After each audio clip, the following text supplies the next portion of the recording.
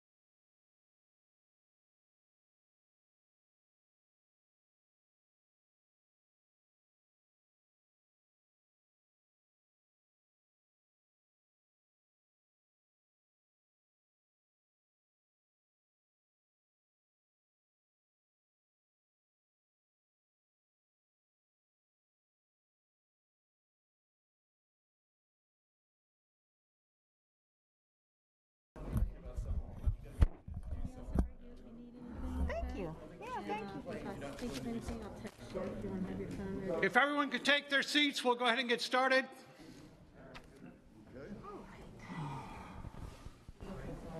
If committee members, uh, if uh, we need to speak during this meeting, you can go up to either microphone uh, and speak for uh, roll call votes, and if just a yay or nay, you can just stay from your seat. And uh, we're going to have, uh, as we do our roll call today, uh, we're going we have new members here, so we'd like to ask everyone to, uh, as your name is called, just come up and give a very quick synopsis of who you are, what you do. So we have, uh, the new members have an opportunity to understand who the rest of the committee members are. All right, it is uh, Thursday, March 25th, 2021, 6 PM. Call the meeting of the Independent Sales Surtax Oversight Committee to order. We Welcome, everyone, and if we could get the roll call. You're good. Uh, Joe Mazurkiewicz? Here, uh, I'm Joe Mazurkiewicz. Uh, It is my honor to have been chair for the last two years. I'm president of BJM Consulting, a local government consulting firm. I am a 52-year resident of Lee County, a graduate of the Lee County school system. Dennis Perlman? Uh, Board members, for the last bunch of years, I have a uh, retirement planning and uh, 401K consulting firm in town. I also get involved a little bit with political consulting. Uh, 25-year resident of Lee County. Joe Catti? Here, um, I'm the um, chairman and CEO of Landmark National Bank and Trust, and I volunteer for a lot of organizations in our community. Frederick Atkins? Frederick Atkins, uh, I've been on the board for the last two years, uh, retired from General Motors Acceptance Corporation. And, uh, Fred. And Fred Elliott is absent and he's excused. Michelle Perez? Here, uh, I am Michelle Perez Macias. I am a small business owner, CPA, been here since 2005, and the current chair of the Southwest Florida Hispanic Chamber. And I have been with the uh, board since inception as well. James Dozier? I'm retired military. Uh, I've been active with the junior ROTC here in Lee County for a number of years and continue to be. And I sit on a number of boards. I'm glad to be on this one.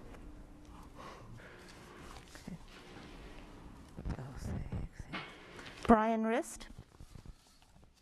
Meeting, I'm Brian Rist, I'm the executive chairman of Storm Smart.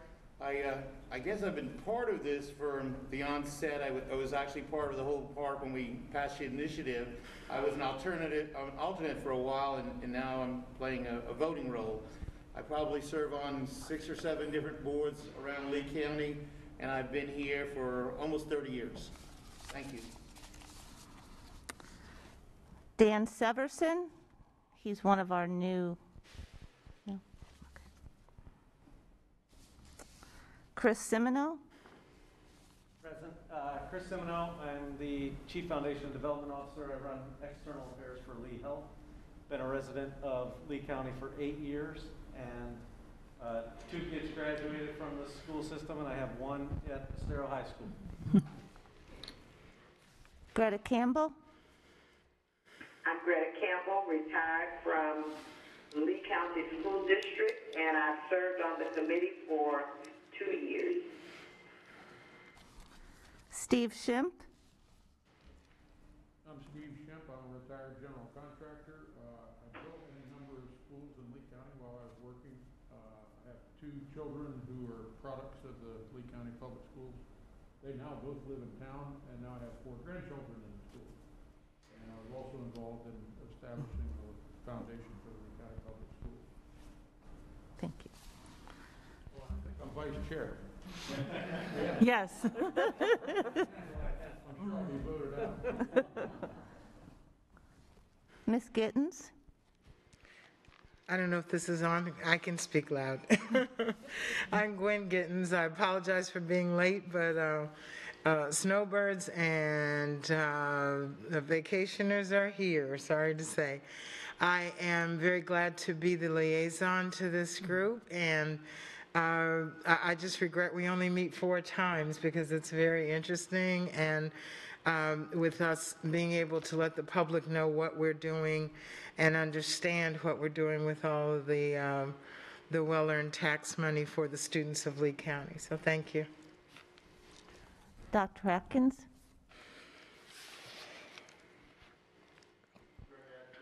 Superintendent, I was school district, uh, thirty-three years, and, uh, member of the community. And My, uh, wife, I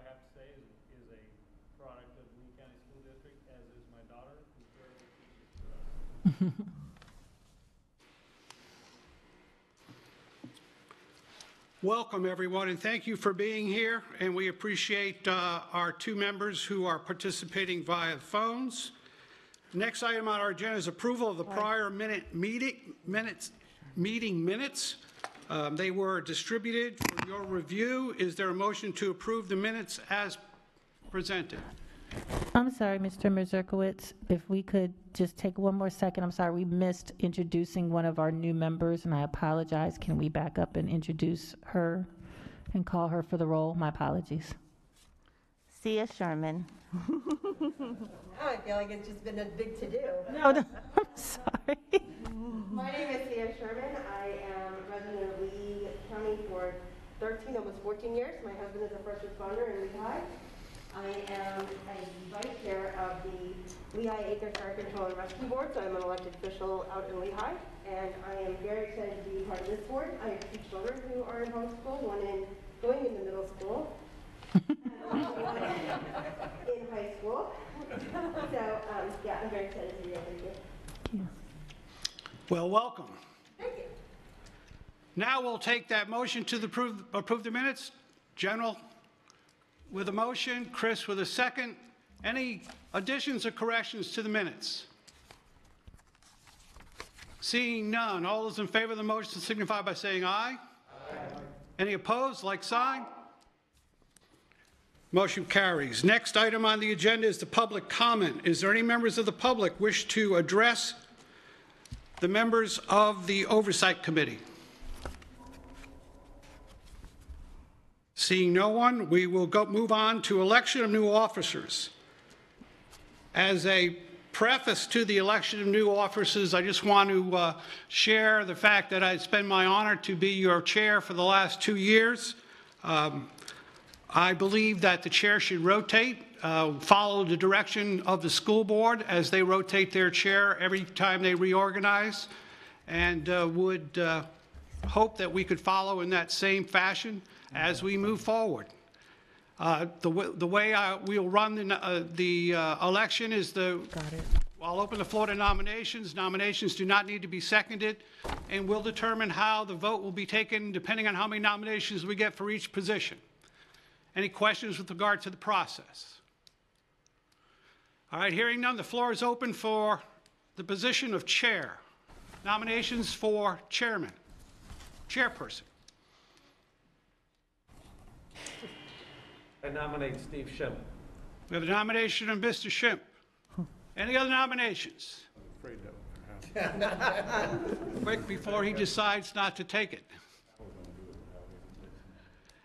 Other nominations for chair? Hearing no other nominations, is there any objections to the floor being closed to nominations? Hearing no objections, the floor is closed to nominations. Seeing we only have one nomination for chair, there is no need for an election. Mr. Schimpf, it's your meeting to run. Congratulations. You're gonna, make work for that. Mr. Schimpf, they said they're doing it like the board. That's what happens. You get sworn in and you go for it. They have to come up there and say something.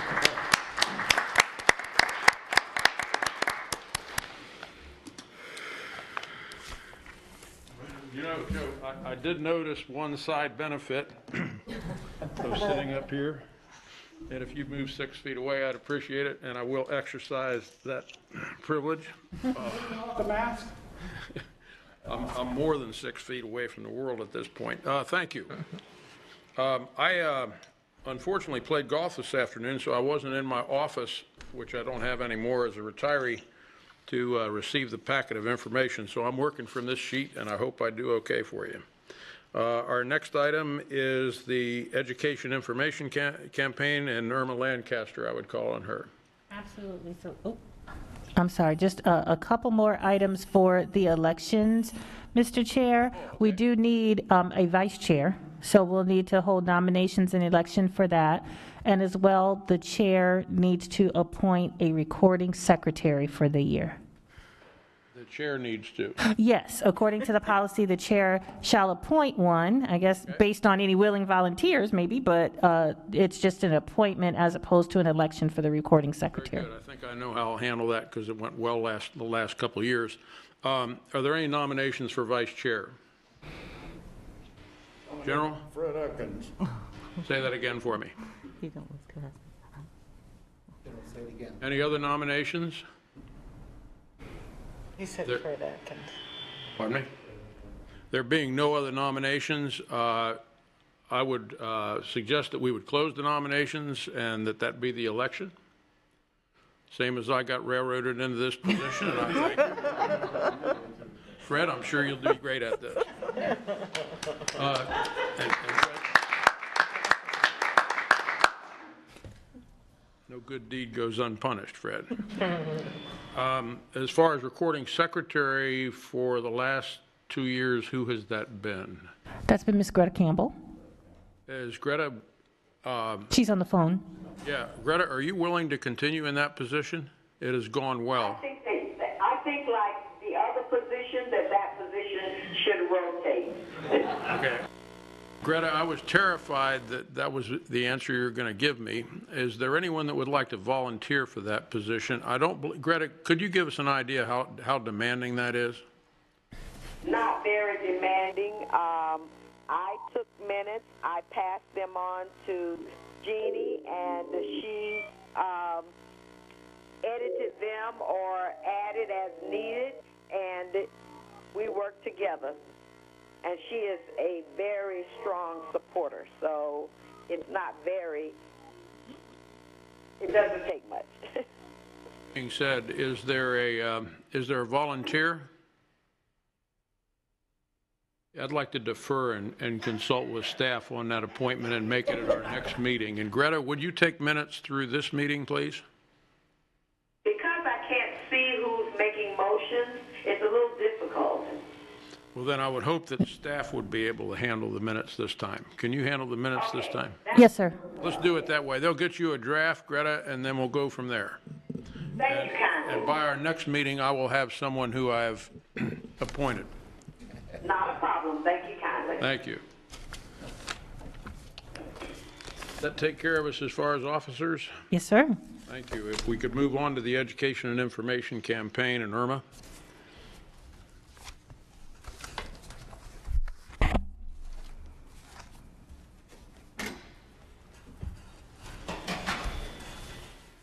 Just gotta move out of the way so Irma can do her thing. No, you're fine. Thank you.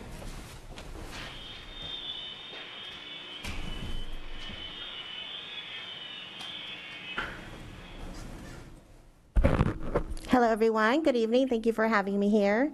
Uh, The communications team's been working uh, diligently along with business services to gather information and present you with what we from the communications team here at the district can do as far as uh, letting our community know what's been happening over the past two years since we first started receiving funds from the sales tax. So we, we thought this would be a good time because I believe when we first started receiving funds was back in uh, March of 2019. So we are at the two-year mark. So one of the first things that we had been working on was a change for change report uh, to highlight some of the things that happened over the last two years. That's how this started. And then we decided to create, uh, based on some of the feedback that we listened to during your last meeting, some more accompanying information to better educate the community. So this is what I'm going to present to you. So most, this is our timeline in our communications team to ensure that our team is constantly working on putting out information. So where we are now is that the annual report has been created. We have updated the dashboard page, which I will show you shortly. So the dashboard page now also includes a video update that highlights the last two years. It has some more information that's very specific to the schools so that if you're looking for your specific schools, which we know a lot of parents just want to know what's happening at their school, it makes it a little bit easier for them to see it. We've added some visuals as well. And uh, we also put together a media summary because we did hear a lot of feedback from the committee that they wanted to see more media. So we just wanted to ensure that you were aware that there has been continuous media coverage over the past two years of a lot of projects that are related to uh, the sales tax. So this is kind of the debut of what we've been doing. So this stuff just went live today because I wanted to share it with you before we put it out to the community tomorrow. I did not hit play. I don't know. Oh, so it's getting ahead. Someone's excited to see the video. Yes, I know, I know. Let's, uh, I'm going to go to the page first. So I'm going to go back. So as you know, if you go to the homepage, you especially, I'm sure, are very familiar with how to get to the dashboard. So now when you click the dashboard link, instead of just seeing the dashboard, at the top of the page, you'll see this video summary. Basically just highlighting again what's happened over the last two years. We updated the, updated the tiles. So the first tile you'll see is the report that we worked on, which is in your agenda packet, so you may have already reviewed it. So this is available online, and it's made up of some of the projects that show, it first has a letter that is from the committee, basically something we put together that's an overview of what's taken place, and a little bit of information on the committee. Some of the expenses, some of the highlights of the four areas, which is construction, maintenance, safety and security, and technology. So you can all peruse that at your leisure. So here again is where you go to the to the dashboard if you just want to see the dashboard. If you go to the next tile, it's sales tech dashboards for individual schools. So if you really just are interested, I go, my kids go to Allen Park. I just want to see what specifically happened there. You can go to the schools and you can click on the school, your individual school to see what's happening there. So you could do that before, but it was a little bit more challenging to find if you're not familiar with the dashboard. So now you can just go to the list of schools and click it. So currently, all of the schools list the dashboard, and our goal is to have a little bit more color on each page, maybe some photos and some specifics showing what's happening. That's something we're going to work on over the next couple of months because obviously that's going to take time. But we did have Allen Park ready, so we're just going to show you kind of what that'll look like. So we'll focus on the four areas and show photo or photos of some of what's been happening. So obviously we don't have any construction at Allen Park right now, but we have had some safety and security updates, technology, and maintenance. And then you can scroll down and you can still see the dashboard if you're interested in seeing that. And all of those pages will be updated again over the next few months.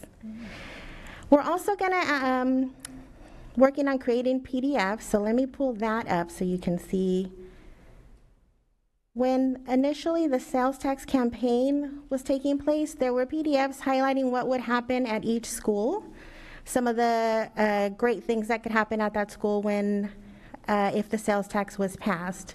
So what we're doing is we're just updating each of those PDFs, which will also go on the website, but will also be available at the schools once we're back open. So parents happen to be there, they can pick up a PDF and they can see what's been happening there.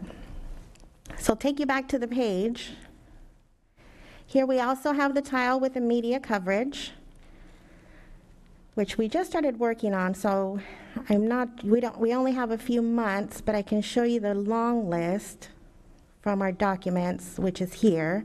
So if you go back to January 2019, you can see that every single month since the sales tax was approved, there's been extensive media coverage. So we thought it'd be important, not just for the committee, but also for the public to see that. So we're building all of that content that I just showed you onto the website as well. And then we also will be working on quarterly videos to highlight what's been happening uh, in relation to the sales tax. So we're working on that playlist.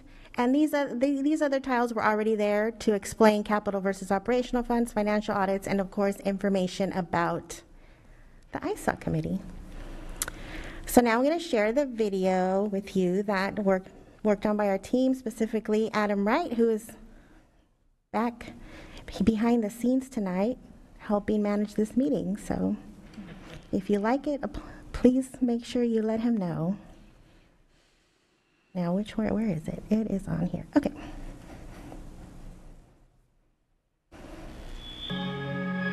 In November 2018, Lee County voters chose to invest in education by passing the half cent sales tax referendum. Since then, more than $163 million in tax revenue has been collected to use on projects aimed at helping us reach our mission of becoming a world class school system. So far, we've spent more than $93 million of that revenue collected. Of that, more than 31 million has gone towards maintenance projects. These projects include new HVAC units at schools like Fort Myers High, Three Oaks Middle, Cape Elementary, and more. New roofs at schools like G. Weaver Hipps Elementary, Caloosa Middle, Cypress Lake High, and more.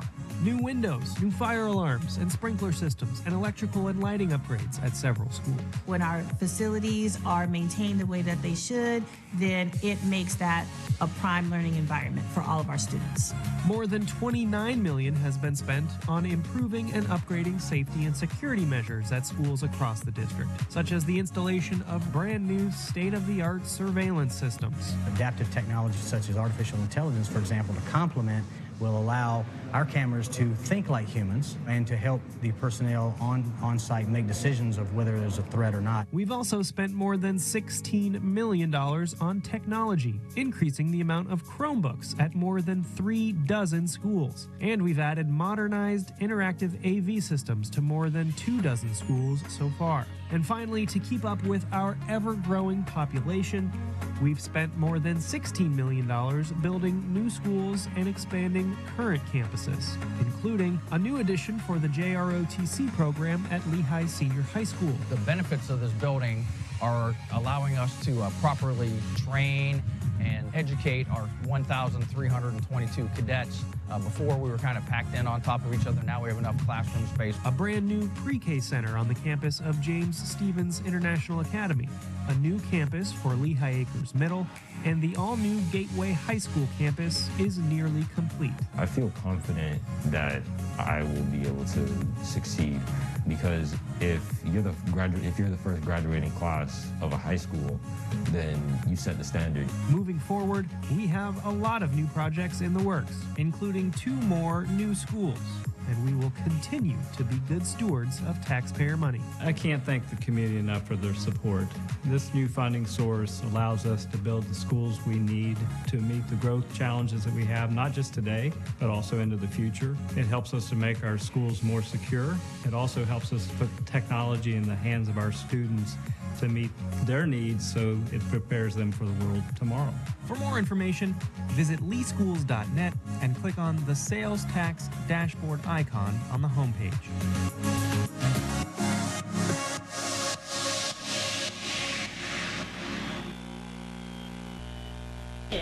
Thank you. So what happens with all this information other than it's all on our website? So what we're, the next step after sharing with you, uh, we will be putting out a news release tomorrow, uh, sharing with the media and community that uh, we've, there's been a lot going on over the past two years, so check some of this out. Obviously, this uh, video can't show everything, but it's, I think, a very good overview and really gives a nice picture of what's been happening.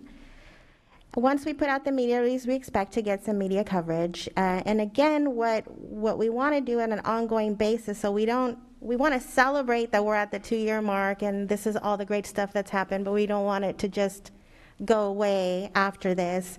So, in an effort to keep the, the information going, we will uh, be creating videos every quarter. We will be uh, reaching out to the media even more often than we already are if there's a big project that we feel would be of media interest. Uh, we invite you to join us in that effort as well if you have any contacts or if you are available to, as an ISSOC committee member, go out and also talk about the great things that are happening. Uh, we can help you uh, or you can help us coordinate any interviews if you wish. Uh, and if you want to do any presentations to any other groups you're a part of, we're happy to help you put those together. There's so much great information already that's presented on a regular basis to the board that it's easily uh, is easy enough to repurpose for U.S. committee members if you so wanted to. We're also going to be doing uh, social sales tax Tuesdays on social media. So every Tuesday we'll be highlighting something that's happening either at a school or or well just a small project or big project we'll be we'll be doing those highlights as well.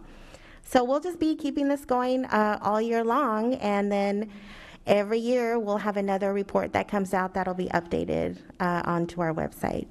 And then i'm not sure uh, dr dusmore uh, if you're going to if your team plans on printing any of these copies for the annual report and putting them out in any other way. I know we had talked about that so so that's a discussion that we're also having as well um, and of course, we have two big events that we're going to be planning for this year. Uh, is our uh, ribbon cutting for Gateway as well as the ribbon cutting for the new Lamb. So that's also very exciting, and we hope that you'll be a part of that as well. And that'll also be covered by our team, but also by the media, of course. And I think I got that's a little bit of an overview of what we are doing. So I'm happy to answer any questions. I think. Can I do that? Yep. If anybody has any questions, okay. Or if we Any talked about questions? anything I missed. Nope. I have Okay. one question, um, and and unfortunately, you may have mentioned it somewhere in here, and I might have missed it because of my hearing, but uh, is there any plan to uh, go out, for example, to service clubs? You know, the people that arrange speakers at service clubs um, are always appreciative when one pops up that would be of interest, and it could be that there's a point in time when we ought to reach out to the Kiwanis, the Rotaries, the service clubs that meet regularly. Uh, They're normally not repetitious into who you're speaking to. Each audience will be unique because few people are members of multiple clubs. And I just suggest that you think about that. Yes, yes. So that's a little bit about what I mentioned. Uh, you know, I know Dr. Adkins and a lot of our staff does regularly go out to different groups, depending on what topic we're sharing. I mean, there's always so much going on. So this is kind of what I was mentioning that we can create one not just for our staff, but even for you as committee members. If you had a group that you wanted to go out to speak to as an ISSOC member and talk about on your from your perspective, not just with the information we provide for you, but as a perspective from a committee member. So we're happy to do that. Fred? I, I heard you say something about the media. Uh, Yes. Do you plan to do like a press conference where someone would just talk about what been going on the last two years? We're not having a press conference. We're putting out a press release tomorrow, and from that, we will be doing media stories. Okay. Uh, a press So basically, what it is is that you know they can come on and they can record a story uh, based on the two years, based on what's been happening over the two years. But there won't be like a podium where there's a bunch of cameras because we want it to be visual. We don't want it to be someone at a podium speaking to the media. So for this purpose, we are not doing a press conference. We're doing a press release that will go out tomorrow morning. And we. Questions? Nope. And I may have missed it, but I'm looking through all the different um, information, whether it's the PDF or the website or the video. I I think that, um, for me visually, just thinking about it, is that we have a very prominent logo for the half-cent tax, and so I wonder if that's something that we need to put more, you know, just kind of like, we have like the Lee TV or Lee Schools TV logo on the top of the video, and I'm not suggesting we redo the video because I know that it's supposed to go quickly, but, you know, in, in the future, if we continue to have mm-hmm. that logo visible in anything that comes from the half-cent tax so that the community begins to mm-hmm. associate the work that we're doing with the information that's coming out. Sure, sure. We like that suggestion. And, and we are creating a specific playlist on our YouTube channel that's specific to sales tax projects, so we like that, that addition. Thank you.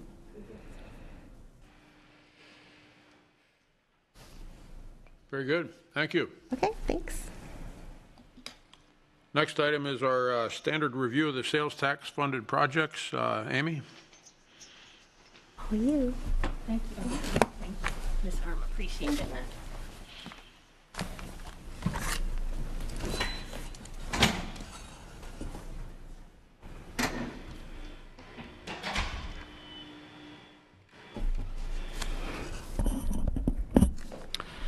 All right.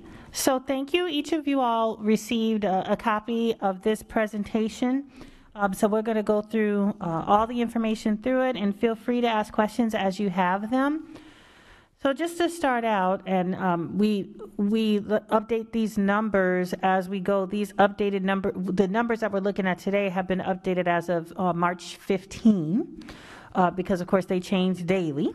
So as of that point, it, it's important to note that incredibly, 32% of our capital revenue exists because we have this funding source. So as the video talked about, an incredible vote of confidence and support from our community and a big boost to um, the revenue sources that we had had in order to accomplish some very important work. And then this pie chart depicts the distribution of the sales tax between our four major categories of construction, technology, safety, and maintenance. So as of this point, uh, pretty, you know, evenly divided between those. Of course, those construction numbers represent uh, the debt service related to those projects, not necessarily the total project cost, but what have been spent to date so far in the debt service for each of the new school projects or construction projects that uh, we've talked about to this point.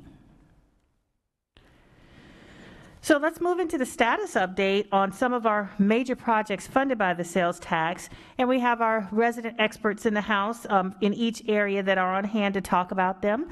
So first, we'll talk about our new schools and major renovations. And I have with us today Mr. Scott Rickenbacker, who's our Director of Construction to uh, take us through some of the information for each of the for each of the major projects. And Scott, you're either welcome to come up here to the dais or just down to the podium, whichever is comfortable for you. Okay.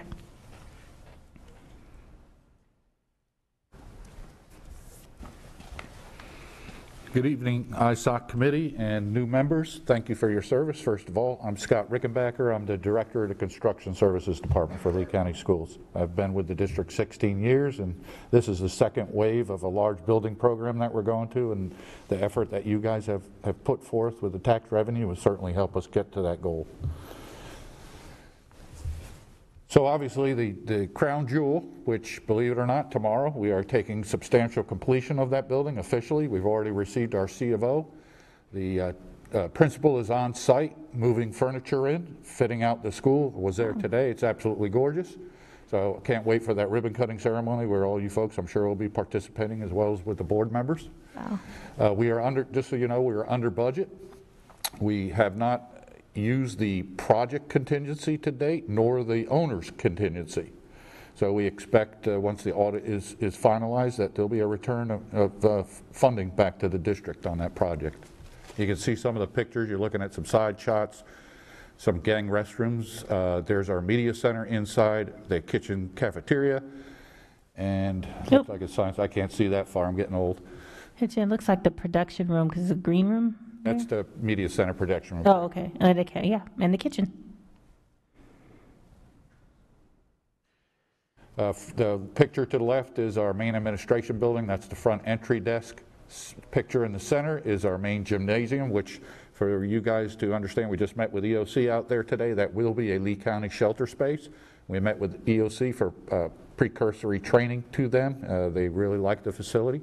That's a picture of the inside of the gym with the uh, Gateway Eagles logo. And then the sports field lights at night that we lit up with the new uh, high-intensity LED lights.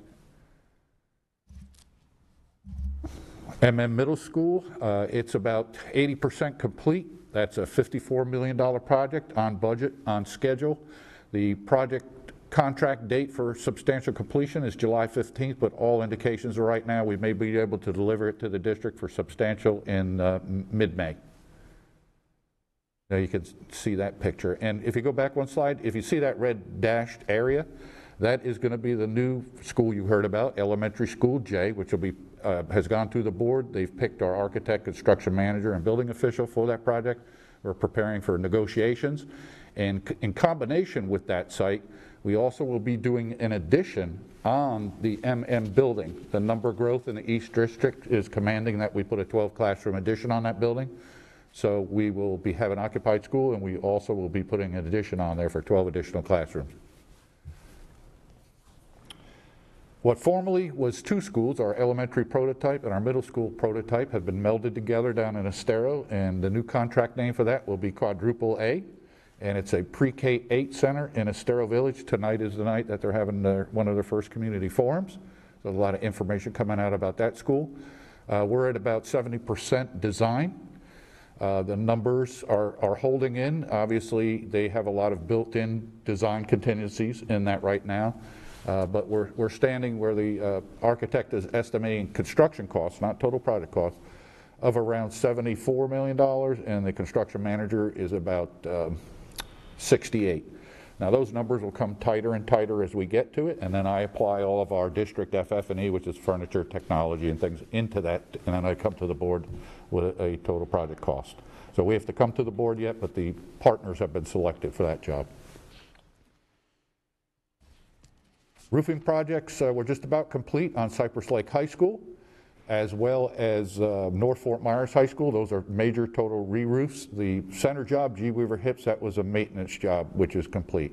So you can see our substantial completion is 521 on Cypress Lake High School roof, and North Fort Myers will be complete in uh, uh, May, 4, 5? Uh, Yeah, April, April. April. HVAC projects, we're engaged right now in a couple of HVAC renovations at Cape Coral Elementary School, which is underway, occupied campus, as well as Fort Myers High School, which is, uh, uh, is being completed, and we're in punch list phase as well. Fort Myers Technical College, uh, we have a $10 million retrofit for the technical school and a $2.5 million roof replacement, so we're making a combo project out of that. That was the RFQ. All of the partners, the architect, construction manager have been selected, and we'll be, begin negotiations with them and obviously come to the board with a total project cost for that. James Stephens pre-K was completed by substantial completion December 31st, this past December of 20. Uh, They're in, they're using it, it's a beautiful facility, and the federal people are just finishing up the installation of some of the playground equipment through their budget line. Riverdale High School, the RFQ has gone out, and the participants, architect, construction manager, and building official have been picked. Uh, We're getting ready to negotiate, and I will be coming to the board with a total project cost. The budgeted number right now is 41 million for the entire program. It's going to be a, a multi-year phase project, about a year of master site plan that we bring back to these committees and to the board and the superintendent, and uh, then we'll have a construction start. And Okay, I, any questions? We're spending millions and millions creating tremendous numbers of jobs. I, I assume we're, we're tracking the amount of, of funds that are going to local businesses or o- other businesses in our community and the jobs that are created. I'm thinking, you know, down the road for when we go back and try to renew this, if necessary, that we have a story about what this, what these funds created. Do we, do we track that? Well, uh, I don't track it, but I can give you some history. Um, With the money that was available from the tax money that we had received, COVID hit, surprised us all. Uh, You'll notice that the accelerated schedule on Gateway High School was done in about 15 months. Same with uh, the OAK job at MM Middle School. We realized an unlimited amount of labor because there- these people were out of work. And we had a project, we had funding, we were able to get great buys in our projects and our materials and our labor and, and have unlimited labor source, even through COVID, with very minimal exposures and so forth. We had protocols to handle that. So I think in a time where the community could have, mostly workforce, uh, could have been really hurt badly, that the money that was provided through this tax revenue supported this county greatly. Can I suggest that that become part of the communication plan as we roll this out, that we are creating jobs, supporting local businesses? Uh, I mean, this, this is what this, these funds are doing. Absolutely. And, and as Amy said, one of the things you have to be aware of is you're seeing the tax service. Uh, 14 million for the Lehigh Seniors Edition, um, a- almost 2 million for the James Stephens Pre-K, 54 million total project for MM Middle School, 98 million total project for Gateway High School. Uh, The Pre-K 8 down in Estero is obviously going to be upwards of around 80, 75, 80 in that area. So these are, these are funds where a lot of people are out of work, and, you know, hopefully, we're hearing the rumors about material shortages now because other parts of the country, the factories have stopped. But if we can keep the materials flowing with the work that we're able to accomplish, uh, I think we- we're helping the community tremendously. Okay. Other questions? Yes, Dennis?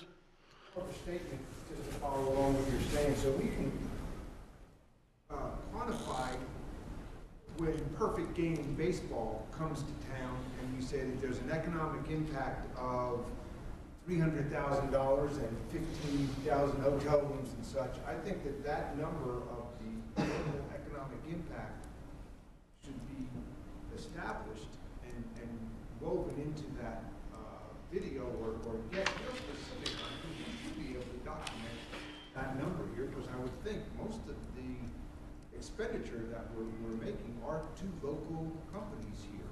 Um, and it's huge, and you have people come up, but I think that's a, a, a- I, I appreciate what you said, but that's a, that's an opinion more than a specific number. And I think we can get to a number in there, which I think would really be, uh, kind of building on what you're saying. And we Yes. go to the Regional Economic Research Institute at FGCU and have them do an economic impact analysis on this, on these projects. I really do think we're pumping money into the local economy. Absolutely. We can have- Numbers, And you need to we're, take advantage of. we're taking a half cent out of the local economy and we're putting it all back into the local economy. That's the story. At a time when jobs weren't available otherwise. Okay, all right, yes, we can um, work to pull those specific numbers, and we'll work on uh, gathering some more data around what you're, what we're talking about here. Thank you. So Scott, you brought up the material issue. And so, because I'm in the construction business, I know that that's a real serious crisis, not only in its availability, but also in the price. So is, are you having to wrestle with that, or how's that happening? Luckily, what, what the, D- the district does is we, we have a program, it's called uh, DMP Savings, uh, Direct Material Purchase. So one of the first things we do with our construction managers on our large-scale projects is we take credit change orders for the material purchase. So the district in turn takes the material and we buy it. In many cases, without all, that, no sales tax, but at a discount with the arrangements worked out by our construction managers. We've been lucky. We had some really great buyouts, and I'm, I'm seeing those returns in my construction GMPs and being able to reutilize and repurpose some of those dollars, not the tax savings, but those savings in the buy, for items that may have been missed or to i- improve some of the design that we were working on. I haven't seen any escalation in costs. However, I'm preparing because I'm already seeing it in, in your business, Mr. Rist, obviously aluminum and steel products, it's, we're already hearing that it's becoming scarce. I've, you know, and, and you would see it probably before me, and I, I'm hearing you say that it's coming, and I'm anticipating that, and we'll have to start adjusting some of my total project costs with an inflation factor possibly. We'll do our best to, to reduce that and not utilize it, but we, I, I think it's coming, but I haven't realized it to date. We've been very fortunate. That's good news, but yeah, it, it is, I mean, it's kind of almost inevitable. See, all my projects, remember, it- it's a, a 14, 18-month process. So my buyout was done a year and a half ago. So I'm sure it would be a much different picture today.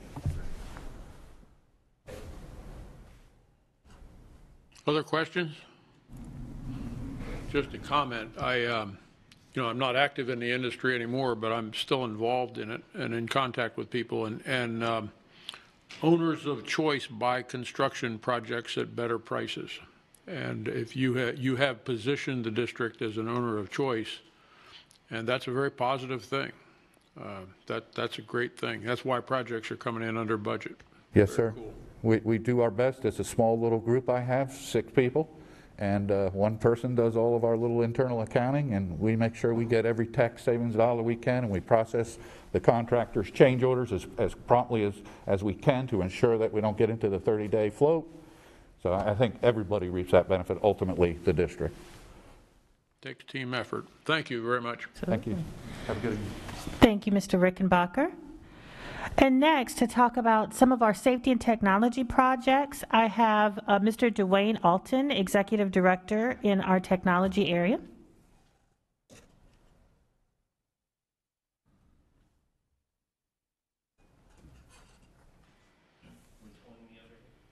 Yeah, yeah.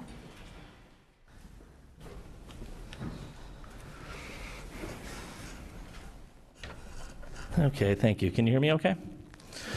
All right, so as usual, um, we have very little details that we share about some of our safety and security projects. And for the education of our new members, I just want to share a little bit about why that is. Um, a lot of times you'll see me come up here and not give a lot of detail about some of the projects.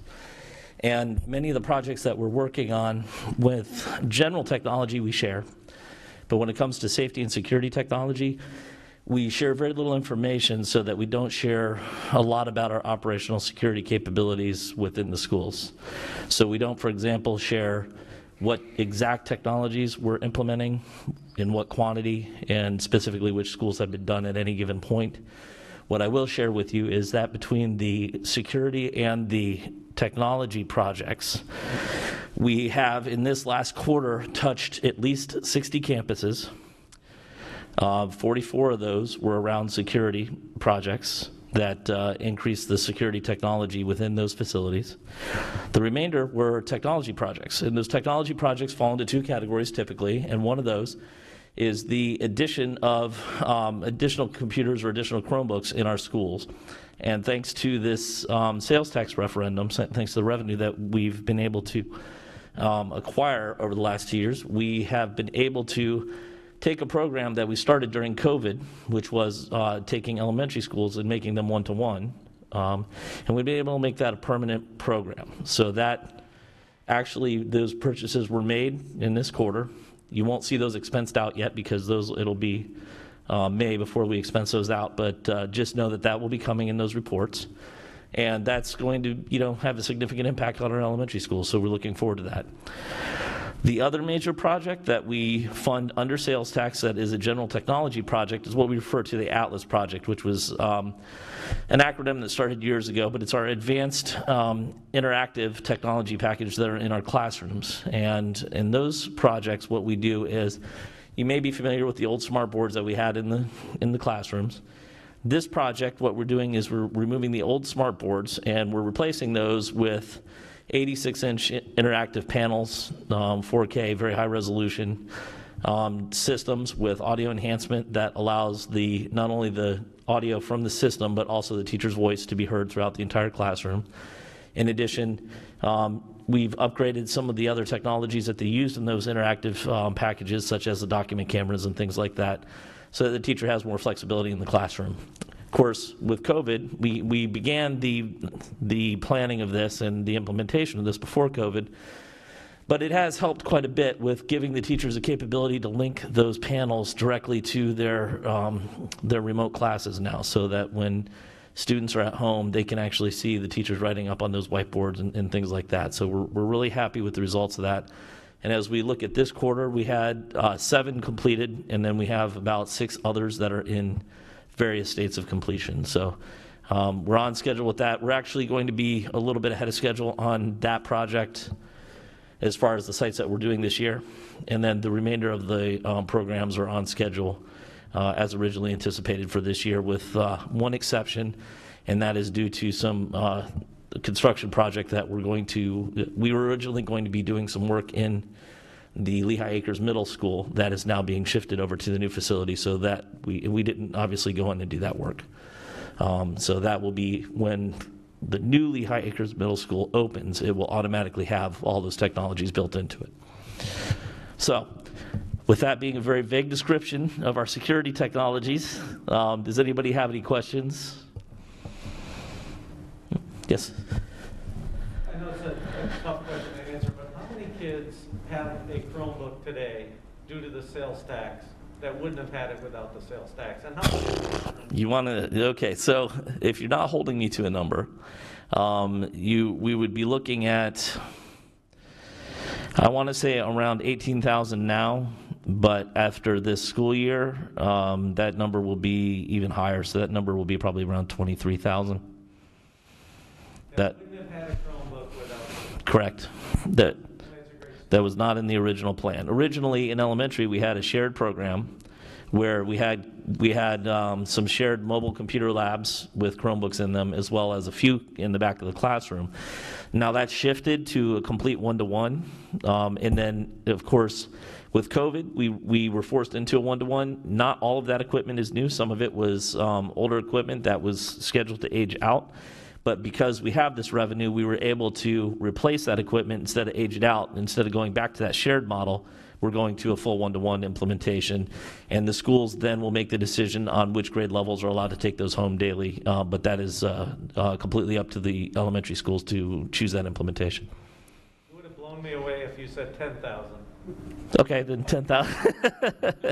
Yeah, no, we did, uh, it is, it's, um, I think probably one of the things that, that we're most proud of is that we really underestimated the impact of the use of the devices in the classroom at elementary level.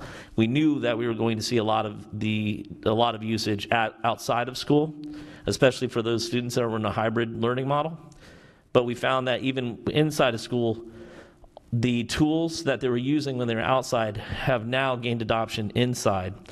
And so we wanted to make sure that we provided an equitable level of uh, availability to those to those students. So I think that's one of the things we're most proud of this year, which you know, hey, an accidental benefit of uh, the COVID implementation, right? Another I have a question? question, uh, and it might be uh, better for Dr. Desimore, the uh, operating budget, has it had an increase uh, to take care of all the new technology that we're putting in place in the security systems? Because I know as a businessman, you install these systems, they require maintenance and technical people to keep them running. I can I, I can start with that. That what- Could you speak to that, please? Yeah, I, I can start with that discussion. Well, one of the things that we've done is we have uh, worked very carefully to essentially capitalize a lot of the expenditures that would be uh, operating expenses. For example, we purchased the equipment with five-year warranty, with five-year accidental damage, or sorry, with three-year warranty on the Chromebooks. On the um, panels, for example, they have seven-year warranties on them. So essentially, what we're doing is we're requiring that the total cost of ownership um, be in the purchase of the device. And then, of course, that device will be cycled out at its useful life, and then the next the next round to go in. There are some pieces around software that will be um, operating, you know, Fund 100 dollars. However, that those are minimal, and uh, you know, regardless, we, we were going into this under the impression that, you know, we can't control our operating budgets. We know that we're going to have ups and downs, and that typically goes with your election years. And that we wanted to make sure that whatever model we implemented was sustainable with the sales tax referendum funding. And so we went into that with that mindset and negotiated those, uh, the TCO up front. Any other questions? And we purchased all these Chromebooks outright, or did we go, did we use a leasing program? Like, how did we, what was the method of purchase? We, we use a purchase program. Um, we do evaluate leases from time to time. Uh, leases can get a little bit sticky with how that is allowed to be funded. Um, so we do uh, we do reevaluate because there's a new model called device as a service that is beyond a lease. Typically, a lease would be you you lease it for a period of time, you send it back. Um, Two options for a Yeah. lease. There's either a one dollar buyout or there's a fair market value. Right. So that's like, one of the things that we, I work for an IT company, Mhm. that we will encourage our partners to buy a certain amount through a lease, and then they have a one dollar buyout at the end, and they just continue to pay the same amount, but get refreshed product every five years, or at the end of that term, whatever. Right. And so we've, as we, until we can determine that we can cleanly use capital for the entire TCO, we have stayed away from leasing. However, um, we do reclaim that equipment at the end and we do resell it. So when we look at, you know, that program, we, we could go into a lease, we would change those programs, obviously we would bring that revenue back in.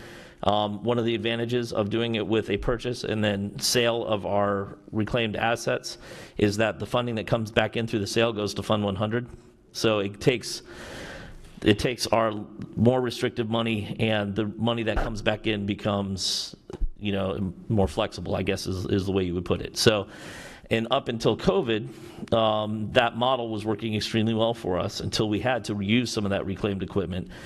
Now, I will say that had we been on a lease, one of the challenges would have been um, to determine whether to refresh or buy back that you know, at that, at that $1 value.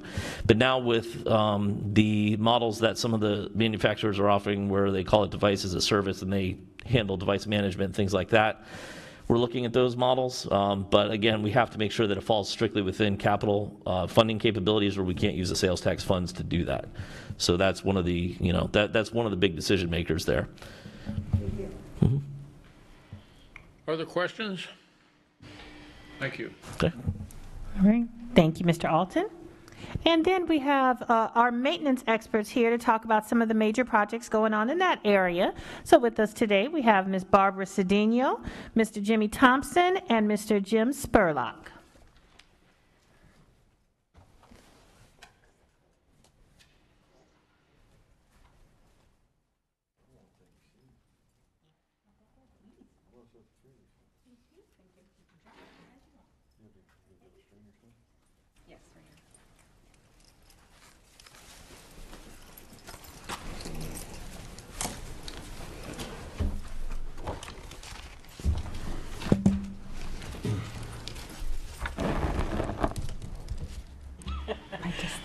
I meant to tell you that's a trick. All right, good evening, colleagues. Hope everyone is having a great day. Um, With me tonight, I have Mr., like Ms. Dr. Desimar said, Mr. Jim Spurlock, Mr. Thompson, and myself, Barbara Cedino. We're part of the administration team at Maintenance Services. At the last ISSOC meeting, my colleague shared information regarding some of our maintenance projects related to cabinets, electrical systems, and the TICE elevator project. This evening, I want to provide you with another update, as well as provide you with some additional project photos. As you already know, three of our cabinetry projects are taking place at Colonial Elementary, Edgewood Elementary, and San Carlos Park Elementary. The completion percentages are 95% and 97% respectively for Colonial and Edgewood. St. Carlos is scheduled to begin on April 9th. As for switchgears, this fiscal year, we are working on a total of six projects. Skyline was just completed over spring break. In December, we have an aggressive schedule to complete the remaining sites.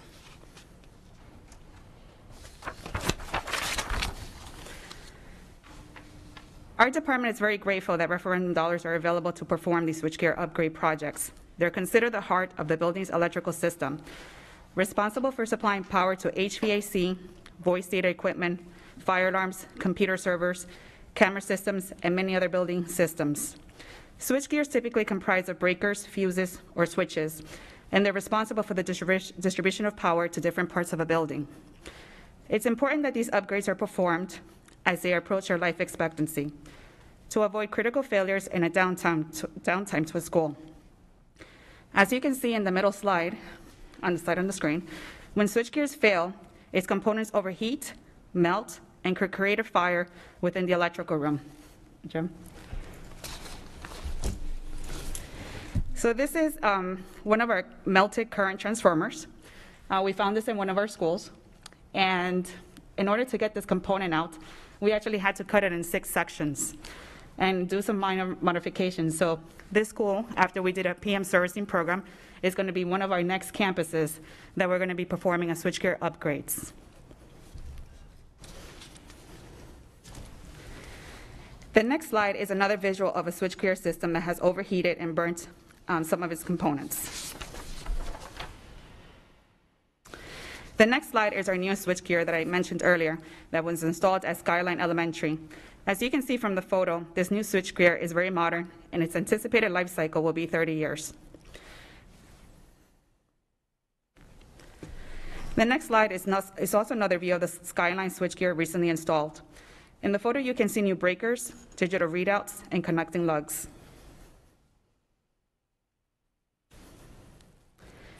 Our next project is the Tice Elementary Elevator Upgrade Project. With this project, we are converting the lift system from a two-piston assembly to a single hydraulic piston that provides better stabilization for the elevator cab. We're also upgrading the hydraulic pump and control valves.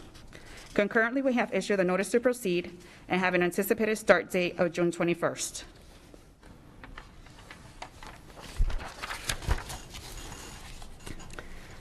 A great discovery after we started this project was that we did not have to demo the roof to allow access for the work to take place. Instead, we will be able to raise the cab and lock it into an elevated position and access the elevator pit through the first floor opening for the installation of the new single hydraulic piston. And this image that you see right here is the top of the elevator um, cab that's there. The right photo, the right photo is the existing elevator floor pit, this one right here. This is where the core drilling will be done to allow installation of a single hydraulic piston. The next slide is a progressive photo of the cabinetry project at Colonial Elementary School. The microbial growth seen on the wall was an unforeseen condition that was discovered when the cabinets were removed. The microbial growth was caused by water intrusion from windows above. This photo depicts the cabinet conditions after their removal. As you notice in the corners of the cabinets, which are like these areas right here, um, this is where the fasteners were located that were holding the cabinets in place to the wall. And this is also the pathway for the water entry to those cabinets that were in place. And that's what allowed the um, microbial growth to take place. The next slide is an example of existing outdated cabinets at Edgewood Elementary School. These are approximately 20 years in age, and key issues are deterioration, delamination, failing hardware, and other unforeseen damages behind the cabinets.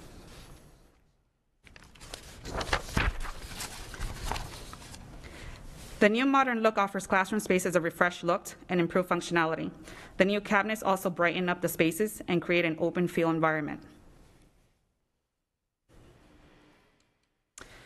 As mentioned in an earlier slide, our third cabinetry project for the year will take place at San Carlos Park Elementary School. Existing cabinets are outdated, also have failing hardware, delamination, warping, and other unforeseen damages behind existing units. This project is currently being fabricated, and after coordinating with the facility administrators, we are able to commence this project on April 9th. The first weekend, we tackle five classroom spaces, and thereafter, we will continue to work on weekends throughout the school so classroom operations are not affected. This cabinet, cabinetry project will be completed prior to the start of the next school year. And that's all we have for tonight. So any questions? Great. Thank you guys very much. Thank you. Thank you for your time this evening. Thank you.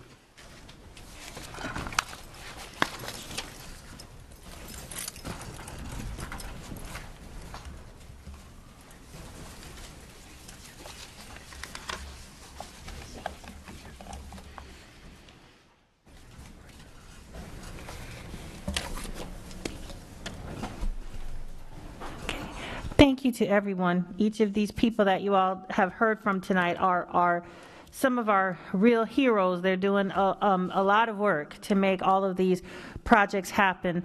Many dollars, um, you know, to spend and make improvements on with not a lot of people to um, support that. And so for all of your hard work and being here tonight to be able to highlight some of those, um, you know, major things that are making major impact at our schools, I thank you sincerely. So we have some prepared some cumulative information for you detailing how our spending has been divided up after two years. So here you're see, seeing that uh, the cumulative sales tax expense by school level and zone. So after two years, as uh, Irma mentioned earlier, that we're in our two-year mark, and these numbers that you're seeing here are as of February 2nd. Um, within each of the categories, maintenance, safety, and technology, we left the new construction out of this view. Uh, you see how those numbers divide up by zones. And then when you get to either your total by level, you can see the percentages of schools that make up that level and the percentage of expense at each of those levels. And then also by zone, the total um, schools or the percentage of schools that are in that particular zone, and then how that matches up to the percentage of expense that has happened. So that's just one look, but then when we go to others, we also have your cumulative expense by the age of the school. So here, again, each of the different categories, maintenance, safety, and technology, and then a synopsis over here based on the age of the school, what percentage that is of the total schools, and then what percentage of expense that age school level has seen. And then this is just maintenance only. These other ones had all three categories. And then this one is, again, by age of school, broken for maintenance uh, expenditures only, broken down in these different category levels or year levels as you see, and then a synopsis of that information over here on the right. So just one of the pieces of information that we're keeping in order to determine are we spreading the dollars out, uh, you know, appropriately? Are we hitting all the areas that we need to hit? Are we missing something? Are we making sure that we are being um, equitable by level, knowing that there are some things that, you know, you have the, your emergency, so some things need to be done that may throw that off, but we do want to make sure that with our sales tax funds, we are being equitable in terms of the level of the school, in terms of the location of the school, the age of the school, and all of those things should be taken into account as we're looking at how we're categorizing and prioritizing the projects that we're placing within the sales tax funds.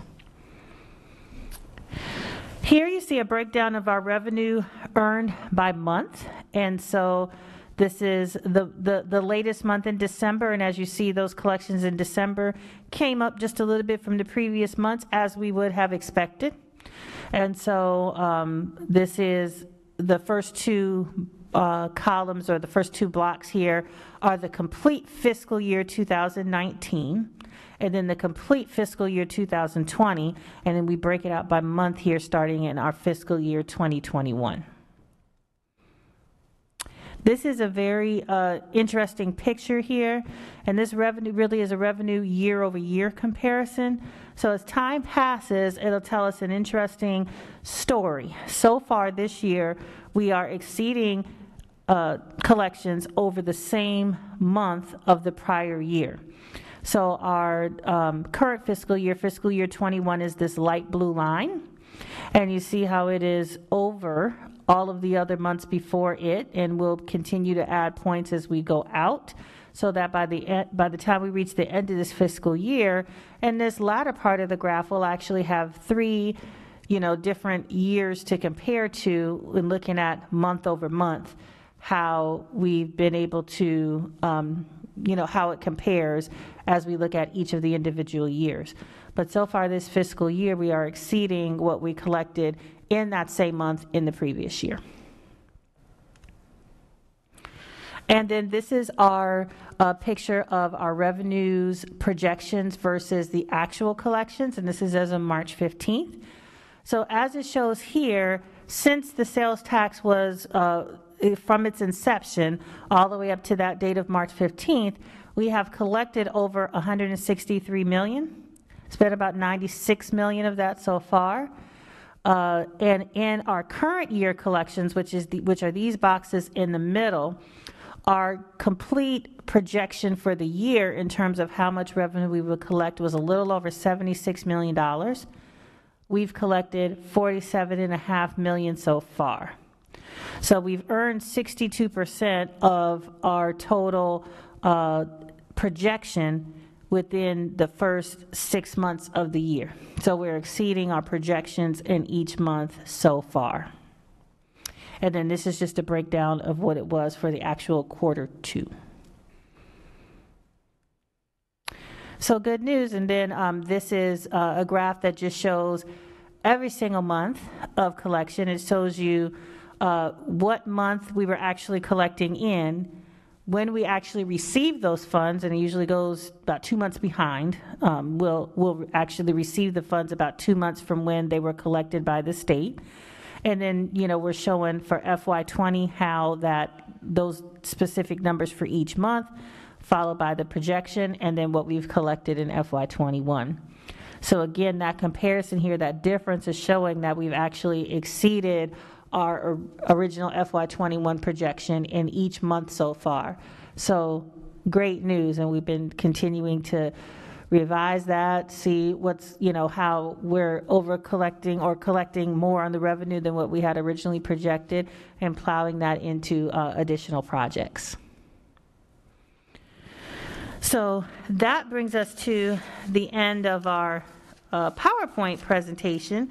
So I'll pause there to see if we have any questions before um, we go into the actual financial reports. I had a question that, I, I noticed that, it I believe the number was thirty-four percent of funds had been spent on schools over fifty-one years old or something like that, right there. Yes. Um, Of those schools that are greater than 51 years old, are we actively looking ahead and planning to uh, replace them? Well, we, Has the replacement of schools been accelerated by the sales tax revenue? well, we do have um, two schools that are on the replacement, are are on the slate right now for replacement. Franklin Park and Cypress, Franklin Park Elementary and Cypress uh, Lake Middle School are both on the slate for replacement in, uh, starting the projects in this current year. Uh, Those are the two that had been identified some time ago as needing to be replaced because of the conditions of the building. There's a whole process that you have to go to, through with the state to make sure that you, your school can be, or your facility can be approved um, for demolition and replacement. I, I, I'm not exactly sure that there are, we do have others that are in consideration of replacement, but at this point in time, they are not in the uh, long-term plan at this point. Because I think some more analysis still has to take place about whether we believe we'd actually be able to get state approval for complete replacement of a building. It's remarkable that 21 of our 89 schools are over 50 years old. Yeah, we've been around a, a, a while, a long time. Yeah. Any And- other questions? Yes. So on the analysis, and just, I think it's the slide before, or uh, before that, yeah. Um, One thing that jumped out at me, I know you're looking at this, um, that seventeen percent of our schools are thirty-seven percent at the high school level. Are you seeing, are you concerned at all with the spread? I know you're watching it, but is there anything that's jumping off at you that, that is I think, well, right now, I think we understand what the spread is because there were certain uh, projects that were more pressing and urgent to do. And some of those, I think uh, you were pointing out here, like at high school, they're only 17% of our schools, but in this, they're 37% of the expense. Well, some major projects happened there, some of the major re-roofs, uh, you know, major HVAC replacement type things that are some of your higher value projects were happening there because that was some of the priorities. And I think that it's a, you know, marathon, not a sprint. So we just have to make sure that over time, these should be, it, it- you know, it should be evening out so that we're showing that we're equitable in how we're spreading it out, or we know for sure that the projects that we have um, designated for this, there's a priority for them. And I think Mr. Rickenbacker wanted to add to that. Please, come on, come on up. Remember, there's, there's an economy of scale. A roof replacement on an elementary school versus a roof replacement on a high school is about a third. So obviously, you do an HVAC, it's a third of the price of a high school. You do a window replacement, it's a third of the price. And, and, and a roof replacement, same thing. So that's why whatever we're doing in the high schools right now, from a maintenance perspective and or construction, it's gonna be a much larger component simply because of economy of scale. I just thought that the high schoolers were harder on the schools than the. No, I, I, I go as the new member of the school. Right. And, and Ms. Malay? And I also wanted to add, the number of students served at high schools is probably more than double at, at middle school. So another column we Very might true. want to add there is number of students served, not just tier. Yep, very true. I think great data. I think this is fantastic. Uh, But I agree, it might be off because it's just by school and not by students served. And that's actually one of the questions I was going to ask is whether or not that would be beneficial, because I, I see by level, by location, by age, but by students served, I think would be even more powerful, especially when communicating to the public that, or most of the parents. Right. Understood. Yes, we could add that information. Yes, sir? Second question. uh, You go down a few slides to the um, projected versus actual in the first two years. For those who are. This, this one? One slide up, please. Uh, on the left-hand side. One, one thing that concerned me when we started this committee two years ago is that we immediately increased our expectation, our projections for the sales tax revenue. And I was concerned about that because over Yes. two years, it was a couple hundred million dollars. Yeah. Two years, it looks like we're about thirty-six million dollars short of the, of the projection. Mhm. Have we considered recalibrating the total ten-year projection to understand what that might, might mean over those ten years? Y- mhm, Yes, we're, we're in the process of, of doing that now as we're analyzing all these numbers that you see here. We're going to, um, you know, re- recalibrate and see how the, the original 10-year projection compared to the remaining years that we have and update those projections as we see it to be necessary and then bring that back to the committee when we're finished formulating the next five and 10-year capital plan with those new projections. Any, any other questions? I believe we have two motions to be dealt with. One is the acceptance and approval of the financial report, and then the acceptance of and approval of the project report, the individual projects is falling within the parameters of the sales tax. I would entertain motions for both of those. And I think we could do them individually. Is that a separate presentation? There was. Catti, move. I, you you know, the problem with these masks is you don't know who made a motion. Can I, I thought I heard a motion. Catti, Joe, Joe Catti. Thank you, Joe. Is there a second to Joe's motion? Fred, thank you. All in favor? Aye. Any opposed? Thank you. Was that for both motions, Joe? Sure, yes. That's what I thought you said, Joe. And I think if I could just take a one second to point out, you all also received two uh, financial reports as well.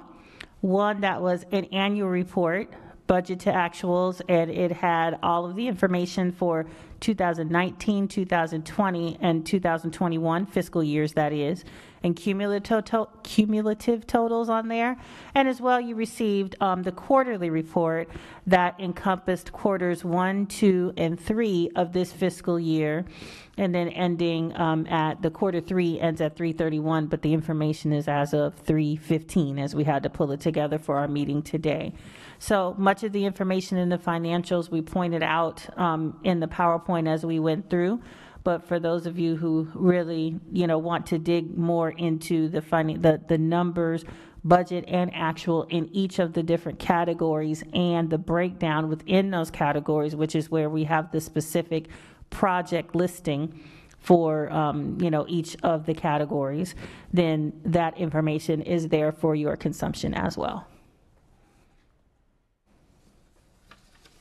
Next agenda item is member comments. Are there any member comments? Who was the second? Who seconded? Or questions? I would open that up also. Amy, I have one question for you. Has this, you know, you're, you're the chief financial officer of the district, and you had this, this, um, this massive thing drop in your lap that was good news. Has it, has, have we, d- should we be changing anything on how we're approaching it? I mean, have you, has it gone well the last couple of years? Does it need any fine tuning, any direction from this group? I mean, talk to us a little bit about your perception of the impact this has had on the district and Okay, good, thank you. Good. Um, so yeah, it, it has been a, a very great, a great thing. As a fact, that we have worked, um, you know, that we really worked so hard to, you know, get public support on, and thank goodness it it worked out the way that it has. Um, I think over the past couple years, it actually has worked really well. Um, one of the things that has helped us, and I'm not saying that we didn't have growing pains, we definitely had growing pains with the additional revenue and making sure that we had um, the staff on hand to help support that because, you know, with these additional funds comes additional work for everybody, managing the projects and making sure that we're doing that correctly. There was a challenge there. And, you know, and I would say we probably still have a challenge there, but we're, you know, working with it as best we can at this point. Um, We had some growing pains and continue to refine uh, the way that we uh, establish priorities and assign projects to each of our different funding sources, including sales tax. So we'll continue to work and refine that process. Uh, But one of the things that I think has helped us very much is in working with this committee, understanding how we package the information to be able to tell a good story. Everybody's not necessarily going to the website as much as we would like. So I think um, that one of the things that we have to focus on here going into the future is, as you all pointed out, and we completely agree with, making sure that we're adequately communicating to the community as to the impact this is having on our schools and on the community, and continuing to make um, good decisions as to how we identify and fund projects so that we get the most out of this time period that we have with this funding source. That, that was one of the reasons I brought up about the press conference. Do you think the press conference will, will, more people will listen to that and, and, and watch that than just sending something out media? Okay, I will, I, when you, when we, you brought that question up earlier, I took note of that. I will make sure um, to discuss with our communications area when, you know, we could possibly implement that, when that would be most appropriate, how we do that. So I will definitely do that. I, def, I, I, I do have some strengths, I think, but I know that media and public relations probably is not one of those. So I rely on, you know, we rely on you all's feedback and feedback and guidance from our experts in communications to help us get there. So we will definitely have, you know, communication on that. I debated in my mind when I asked the question whether to go back and forth with it, but I didn't want to do that. Okay, all right, understood. Understood. So we- I will definitely take that, that suggestion back so we can determine how, how do we implement that and get the most um, exposure out of that.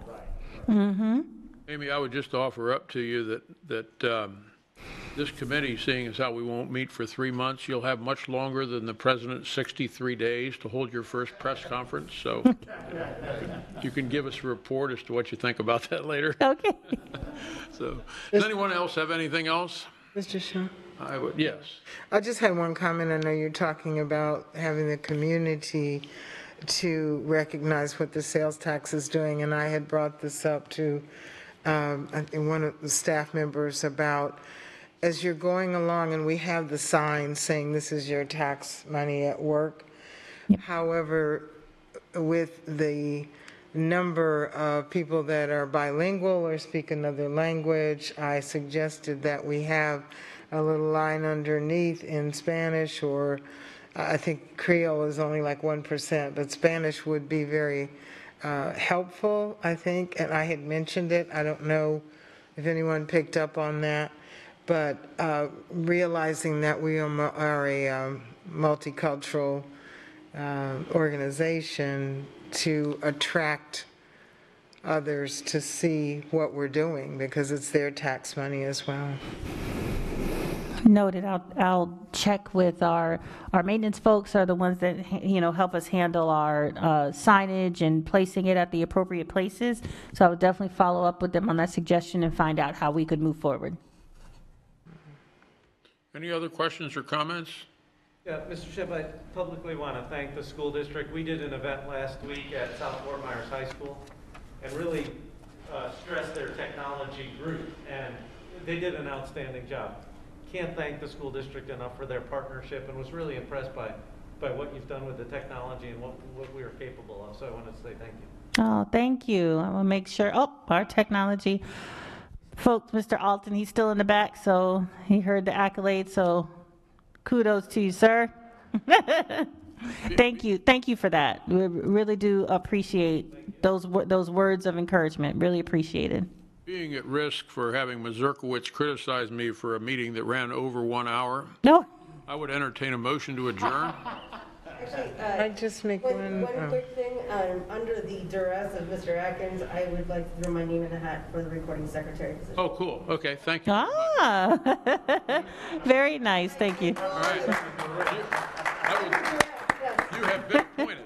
Um, I, I would, I would request, uh, a slight tutorial, that would be fantastic. Abso- Absolutely, we'll be more than happy to. Very good. Mr. Schimpf, I have. Thank you. So we have a May full I- slate. Fred, that's it. May I make one more? Yes. Motion to adjourn. Oh, can, All in favor? Go on. I had another announcement from the Oh, board. there's Never one more mind, that's all announcement. right. If you- you- Go ahead, please. I, I just wanted to say um, that on the 30th, you mentioned about the Estero High, Sch- uh, at the Estero High School, they're having the uh, public meeting uh, tonight, and I believe there's another one that's coming up. And on the 30th of March, I think it's next Tuesday, there will be a public meeting at Veterans Park Academy to discuss whether, once they move the uh, Lamb students to the new building, uh, the future of the old building and the current Veterans Park Academy. And that will be at 6 o'clock at Veterans Park at the, um, in the cafeteria. So please let everyone know to come out and see, you know, what we're doing and have their voices heard as well. And uh, just finally, thank you so much for all that you all do. And if you want to know how important uh, the sales tax and all of the operational things, every time we look at our uh, agenda, the largest part is operations, and it's all the things that Mr. Rickenbacker and operations teams are doing. So we're quite busy, but thank you all for your time. Thank you. Yeah.